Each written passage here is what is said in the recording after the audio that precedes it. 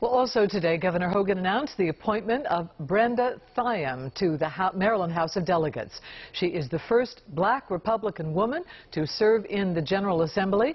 Dr. Thiam will represent Legislative District 2B in Washington County, filling the seat of Paul Corderman, who was recently appointed to the Maryland State Senate.